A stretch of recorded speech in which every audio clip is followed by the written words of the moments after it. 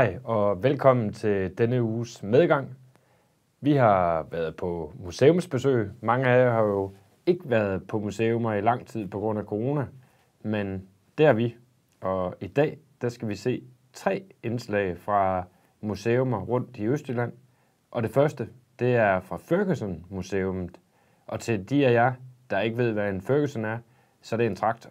Og det finder du i Julesminde. Hej Henrik. Pæn goddag, og tak fordi vi må komme. Velkommen. Det er jo et fascinerende stort sted, du har herude, må jeg sige. Det, er- det er et dejligt sted.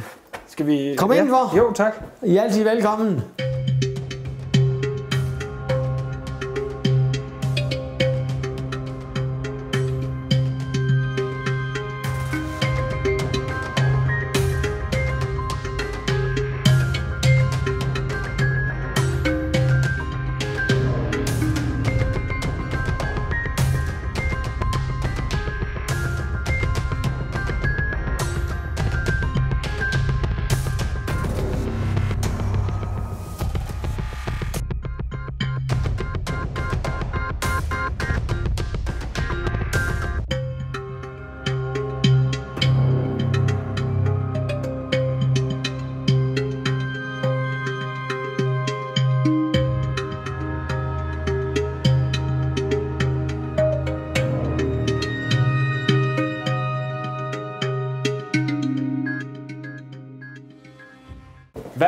Ferguson Museet?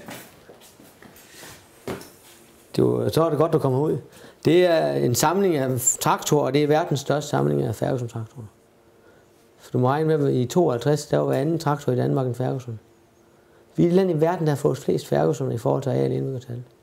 Hvordan kan det være, at Danmark øh, er, Jamen, er det, land, det, der har det, det, flest? passer. Jamen, det, der er mange ting, der spiller ind, ikke også? Men vi kan lige kaste et blik derind, så kan vi lige ja. for lige at fornemme. Øhm, Hold da op. det er, Wow. Ja, det Jamen, det er jo det, er, det er verdens mest geniale traktor. Vi ligger lige, og, så Danmark, det passer lige med det, det, den måde, vi, landet var bygget op på med små brug. Så passer den traktor bare lige ind i, ind i, ind i den landbrug. det må jeg nok sige. Det er, jeg synes, det er fascinerende. Det er den største kulturarv, vi har. Ja. Hvad har man øh, sådan typisk brugt dem til Jamen, den, er- det var den, der, det var den, der dyrkede landbruget, øh, dyrkede jorden i, i, i, landbruget førhen, og det var den, der gjorde Danmark rig. Fordi øh, vi, vi, vi, vi var så effektive i fødevareproduktion, og så, kunne den, og så folk de kom ind til byerne og arbejdede i industrien. De frigav hænder i stedet for at arbejde på landet. Så det er den, det, det, det, det, det, de penge, vi, har- vi lever af i dag, det er dem, vi- de tjente med de færgesunder. Så vi skal ikke ud og køre i den, kan jeg høre. Ja. Ikke Men, øh, den der- lige den her gang.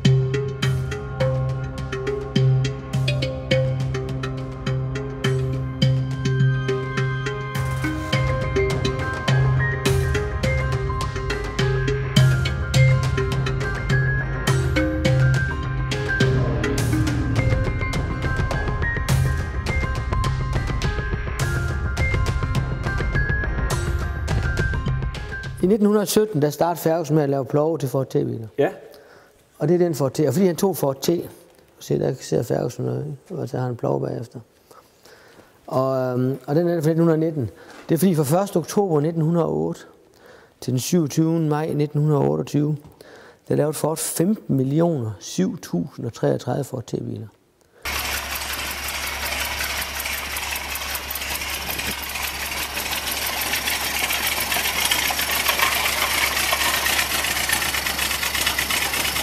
Af den amerikanske her, og hugger dem op, og så har de foraksel og bagaksel fra en villig stive og hugger op. Og så bygger de den ind i en, så tager de en gammel Ferguson fra 46. det er, det er en, den fra 46. Ja. Så bygger de en tre tandhjul ind her. Og så laver de firehjulstræk med den vilde stive. Og så tager de en halv tanksmotor, en Panther motor. Det er en P, og kalder det P3. Ja. Så tager de en halv tanksmotor og, og bygger ind i den her traktor. Så har du en 60 cylinder 34 heste stiltraktor med firehjulstræk. Det er jo helt genialt at have sådan en traktor. Den var lavet 50 her nede i Italien. Og det er jo virkelig samlerobjekt for Færøs, for, for sådan nogle så kender og samler som os. Ja, det kan jeg næsten forestille mig. Det var da helt... Ja.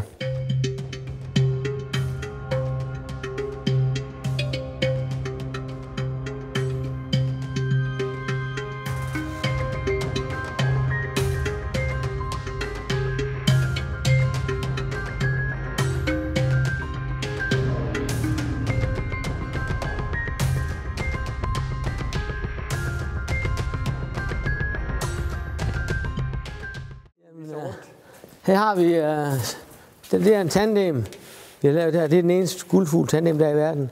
Det er to traktorer, der er bygget sammen. Og det er jo egentlig forgængeren på sådan en knækstyret. Altså det, det, det var, i stedet for at have en traktor med 30 heste, så havde man lige pludselig en, der havde 60 heste. Ja. Hold op. Så i stedet for at lave den stærkere, så har man simpelthen bare ja. Valgt at, at ja. kobles to sammen. Så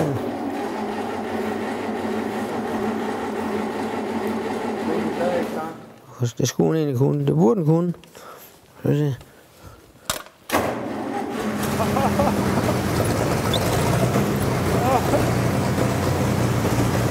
Ej, Henrik. For søren. Slap helt af. Den knækker der på midten. Om du har, og der er bare én motor. Altså, der er fire hjul, og knækker. ja, Der, er bare to motorer. Det er det samme jo. Du, du kan ikke se det. Der er bare to motorer her.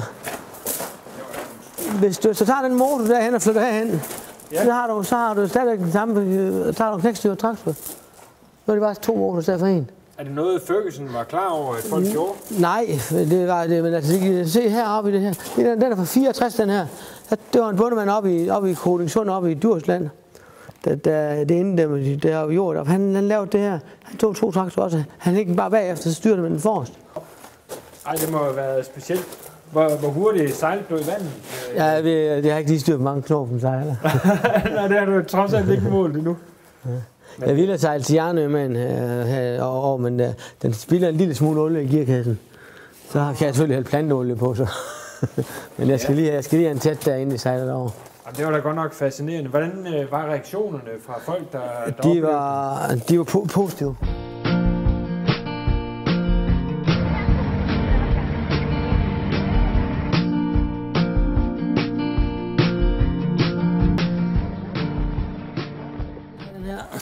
Den kan rundt på dyrskuer. Men øh, prøv lige at tænke sig sent. Ej, den er hyggelig. Prøv at se her. Den kan rundt på dyrskuer. Wow. Ej, hvor er det hyggeligt. Prøv at tænke sig 62, altså sådan en køkken. Ja. I 62 der er man ikke engang, der er mange, der ikke har sådan noget køleskab hjemme i husene. Landbrug, de har da ikke køleskab i 62. Er det ikke vildt? Ej, men den er jo luksus, den her jo. Altså, Det, det, så tænker mig, at rigdom, der har været her, Ja, dengang de lavede ja, dem. ja. Tænk sig at være bilproducent, altså. For, for dog at lave sådan noget, og det er jo... ej. Det er en russer for, 7, for 57. Det er en kopi af en BMW fra 2. verdenskrig. Den har vi meget sjov med. Hvordan kan det være, du har valgt at, at få sådan en? Må jeg sidde over i... Jeg, vil lige, lige, jeg skal lige starte her. Okay. Jeg vil da gerne lige prøve at sidde ved siden af dig.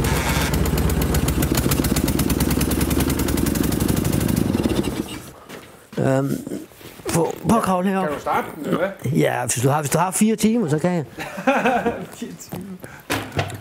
Prøv at komme herop. Og er det, det er jo ligesom et gammelt... Øh, skal man bruge det her kul her? Ja, prøv at stå og kigge henover. Er det ikke, prøv at tænke dig, er det ikke fascinerende at se alt sådan noget her? Og så, så vil det bare køre rundt. Hold op. Og så kommer der en røgsky op, ligesom på gammeldags tog. Ja, eller? lige nøjagtigt, lige nøjagtigt. Prøv at se her. Og den kan... Ja, okay, der kan man så se mekanismen her. Ja. Den bevæger sig. Kan han løfte den her? Så kan du nok se her. Det, og det er virkelig fascinerende at stå heroppe, når den kører. Hvad er det, du godt kan lide ved, ved sådan en maskine? Jamen, jeg synes, jo, det, det, det, er det er jo imponerende, at bare med lidt vand og lidt ild og lidt varme, så kan man lave så meget i et moment.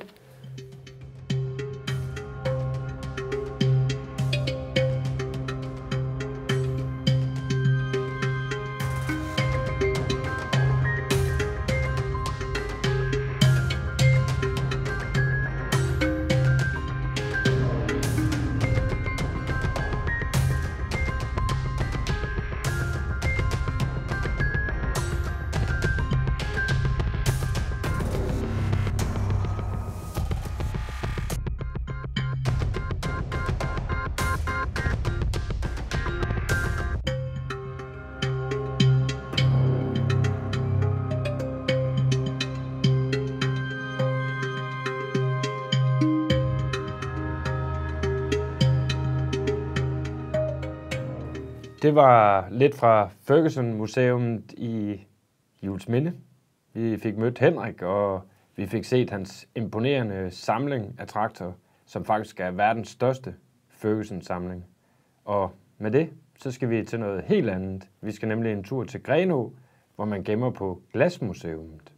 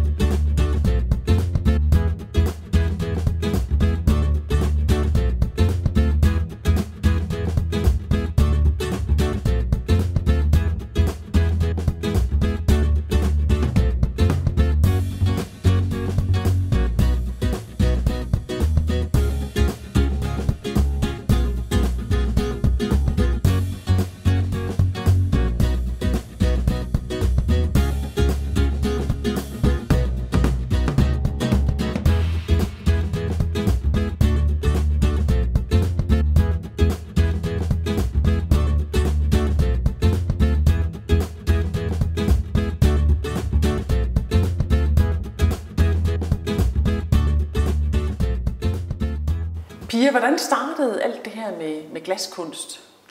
Jamen så her på Glasmuseet Æbeltoft, der viser vi jo altså det, vi kalder moderne glas i dag.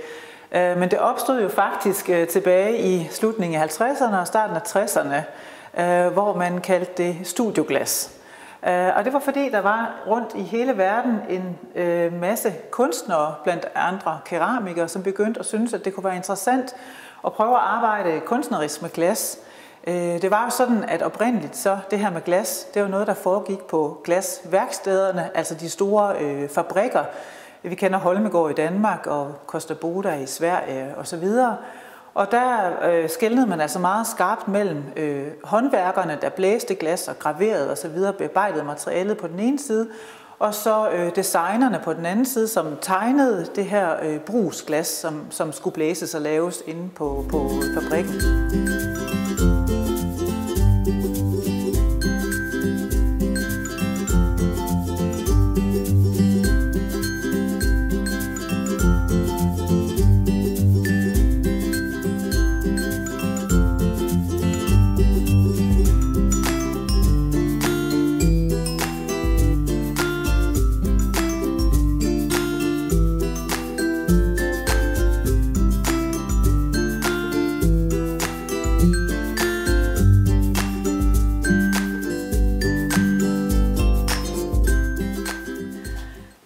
Faktisk hernede i vores øh, magasiner, hvor øh, vi jo normalt ikke har nogen folk nede. Nej. Øh, og øh, her står der noget af det helt øh, tidlige glas, vi, vi fik her til museets samling. Og øh, som sagt, så er det Finn Lyngård, der egentlig fik ideen til, til Glasmuseet. Men, men før han fik den idé, så skulle han jo lige finde ud af, at det også var interessant at lave glas. Ja. Finn Lyngård var nemlig øh, keramiker, faktisk en ret succesfuld keramiker. Øh, og øh, han blev inviteret rundt i hele verden for at øh, fortælle om forskellige keramiske teknikker, glasur osv. Og hvor boede han og arbejdede? Han boede i Kokkedal øh, i Danmark.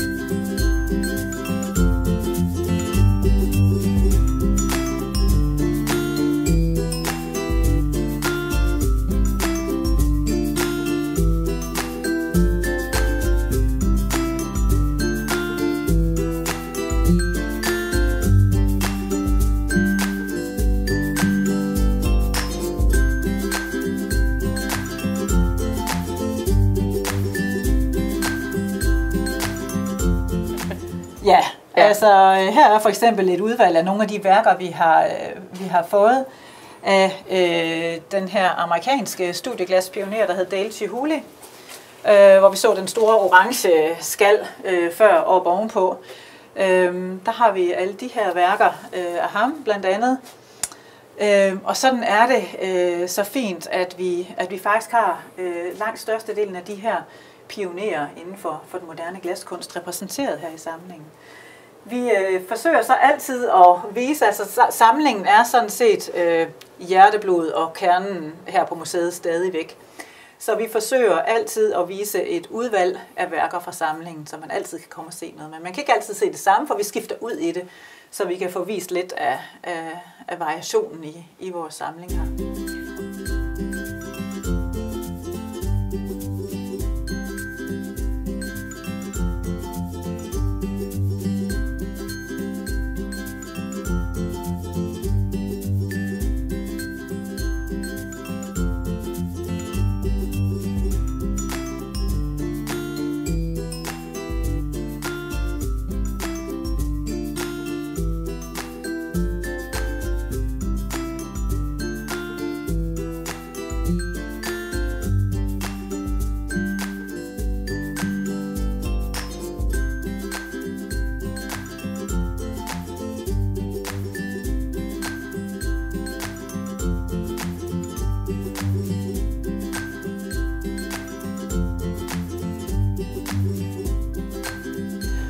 Altså noget, øh, noget andet sjovt, øh, jeg kan fortælle om, som også er en del af samlingen, men som samtidig er et fungerende toilet. Det er vores øh, nyeste værk, som vi har, har fået her med hjælp fra Ny Carlsbergfondet.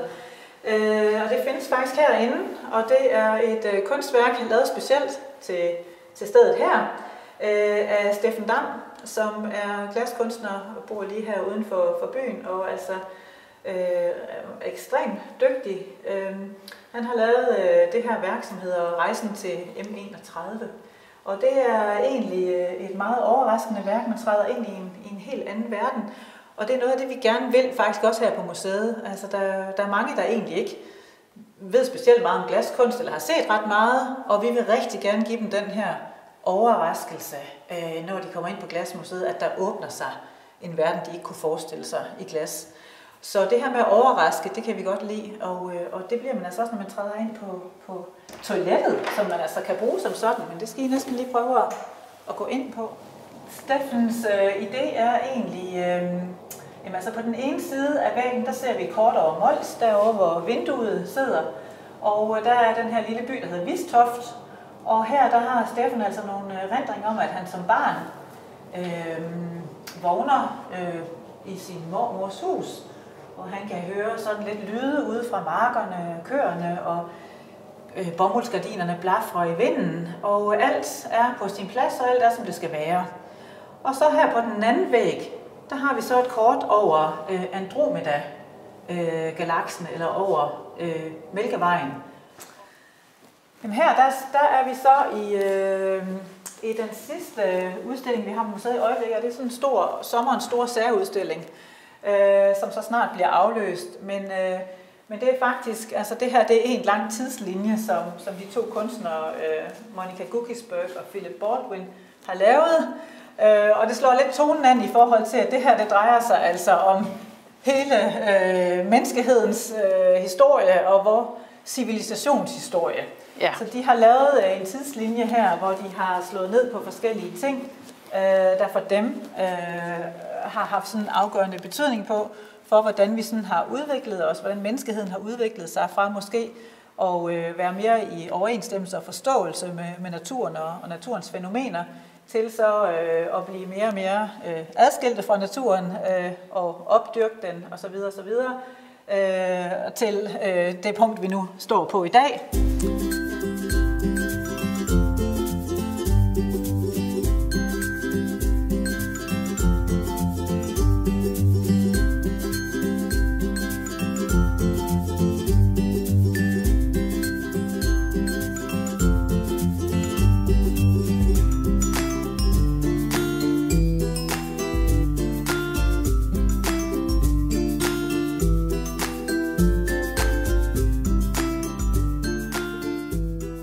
Det var Glasmuseum i Greno, og det kan du forhåbentlig selv snart komme ud og besøge. Og med det, så skal vi til dagens aller, aller, aller sidste indslag. Det er nemlig et indslag fra Horsens, for jeg havde mulighed for at besøge fængslet uden for ordinær åbningstid. Og det skal I se nu.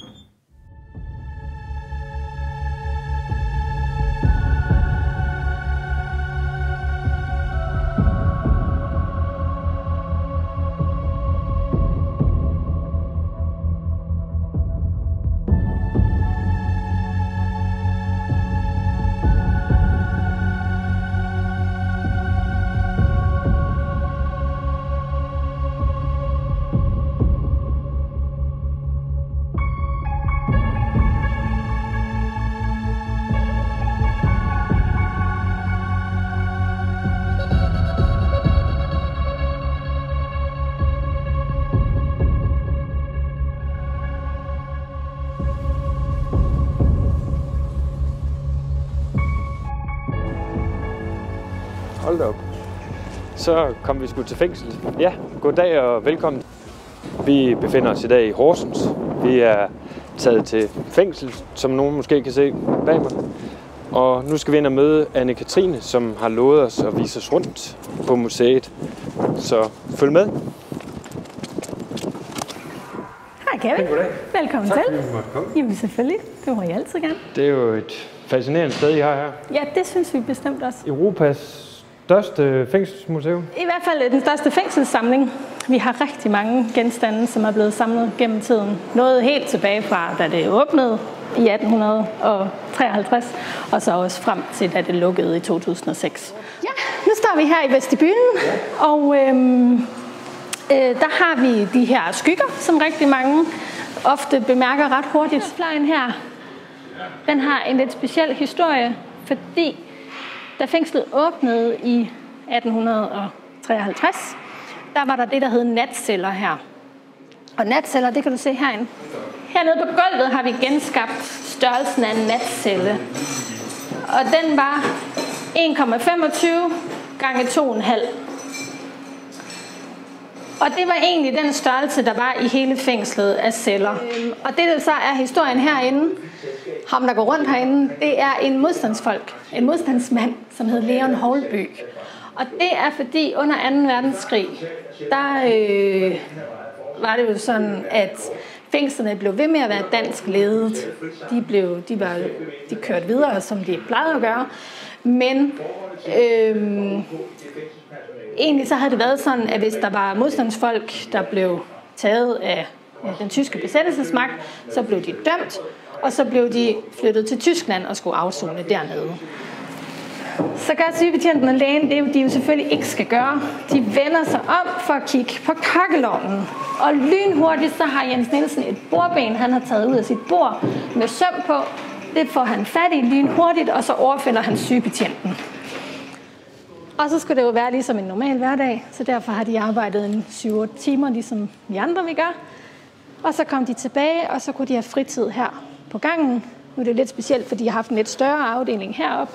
Men ellers så har der været mulighed for alle gangene at, at spille billiard eller øh, bordtennis. Og så er der faktisk telefonboksen dernede, hvor man så kunne ringe fra. Og ja, man kunne have fritid, og så klokken halv ni om aftenen, så er de blevet lukket ind igen. Det er en helt anden følelse i hvert fald at komme herind. Men det er også fordi, vi har to etager her jo. Og øh, vi har vinduer uden trammer for. Så det er, man kan lidt bedre trække vejret her. Det er en helt anden øh, atmosfære i hvert fald. Og maleriet her er også lavet af en fange. Det er så, vi har rigtig mange fanger, der har været dygtige til at male. Har vi eksempler på i vores samling. Lige det her, der har fangen haft et postkort af et maleri af en, en rigtig kunstner, hvis man skal sige det sådan, som hedder Heinrich Hoffmann. Og han har malet det her billede med Jesus som 12 år i, i templet. Og så sad Lorentzen hernede i, øh, i 1948. Han var kendt som en flugtkonge. Han havde flygtet flere gange før, også fra andre fængsler. Men det kunne han, og han kunne så komme igennem, og så kravlede han ud.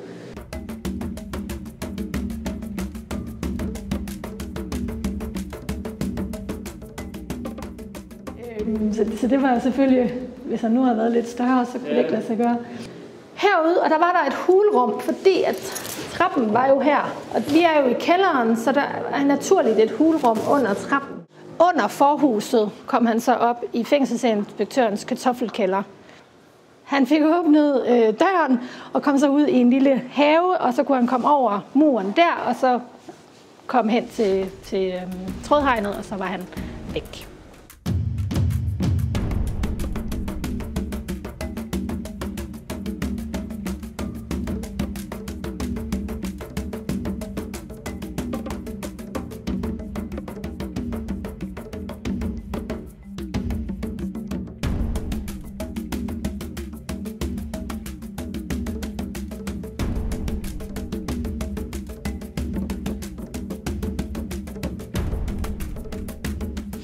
komme i friheden, helt uden at blive fanget igen. Ja. Ej, det har i hvert fald været en rigtig fordøjelig omgang her på museet. Det var godt. Og vi er meget glade for, at vi måtte komme, og der er vel også meget mere, man kan selv komme ud og se herude.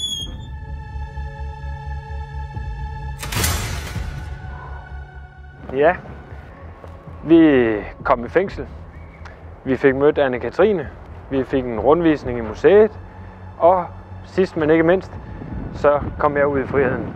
Tak for i dag.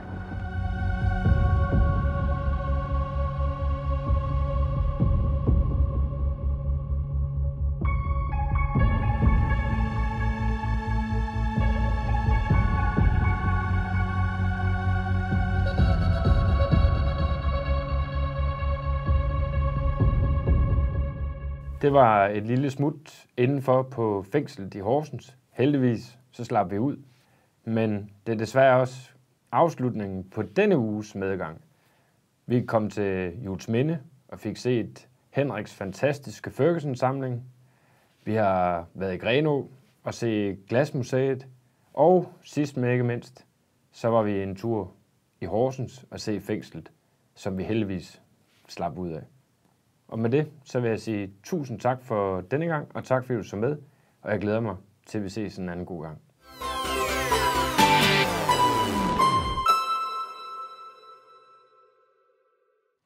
Vidste du, at de fleste ulykker i kryds kunne undgås, hvis vi bruger bare to sekunder mere på at orientere os? Men hvad skal der til, for at vi husker det? Skal vi se en ulykke? Skal vi se blod? Eller skal vi bare se det på de sociale medier?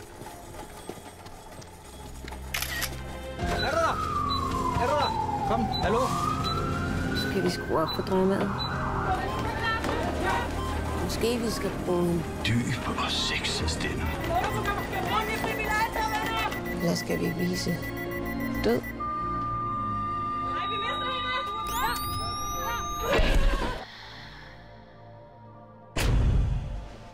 Skal vi bruge humor? Skal man bruge to sekunder, hvis man er på en et cykel? Eller se, hvordan det påvirker familien?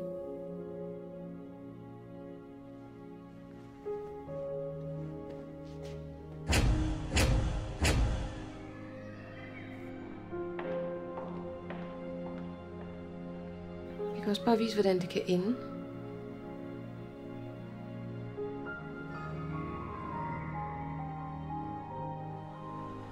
Så hvad skal der til, for at du orienterer dig to sekunder mere i krydset?